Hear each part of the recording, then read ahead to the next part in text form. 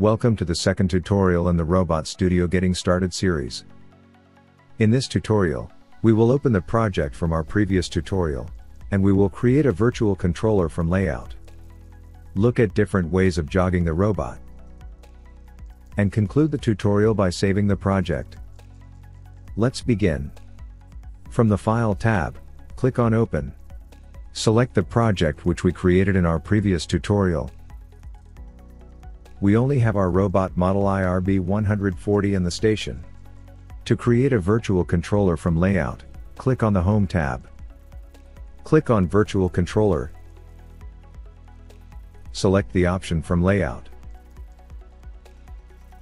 Select a suitable name and location for our virtual controller. Next, we select the mechanism to be included in our virtual controller. In our case it is IRB 140. Always remember to add mechanisms such as tracks or positioners to your station before creating a virtual controller. Depending on the mechanisms that are added, an appropriate RobotWare version is selected automatically. Or we can select another version which is installed and compatible. On the controller options page, we have the option to align the task frame and edit the controller options. Since we have a single robot system, we will align our task frame with the base frame of our robot. Click on Finish. Our virtual controller will be created and started. Depending on the size of the station this can take a few minutes. The controller status can be seen down in the right corner. When the status of our virtual controller has turned green, our virtual controller is ready. Remember a robot which is not connected to a controller, cannot be programmed.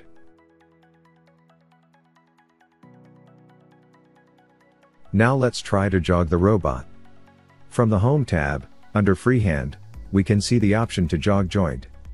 Once selected, we can select the axis by pressing the left button on our mouse, and then jog the joints by moving the mouse while keeping the left button pressed.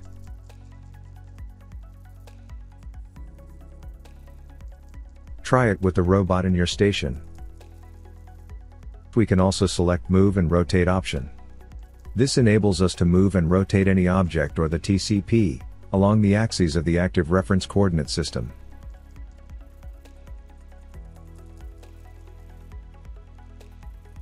Note that we can use move and rotate tool not to just move the TCP of the robot, but also to move and rotate any object present in the station. Please try it with the robot in your station.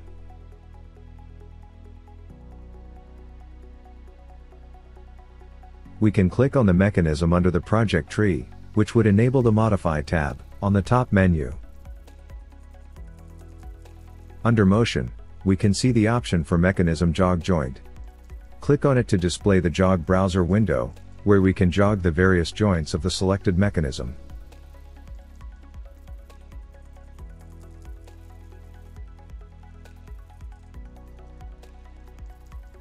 We can also see the option for Mechanism Linear Jog. Click on it to display the Jog browser window, where we can linearly jog the various axes of the selected mechanism. This will move the robot in a straight line, from its current position to the final position.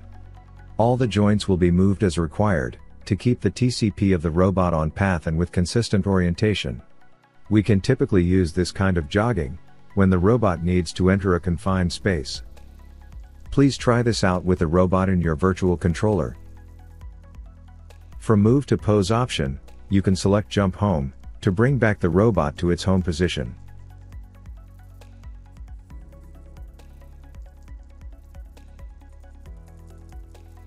Finally we can save the project from the File tab, by clicking on Save Project. Note that we can also use this save icon on top to save the project. Once the project is saved, you can see an event log generated in the output window. Thank you for your time. Please subscribe for more tutorials like this.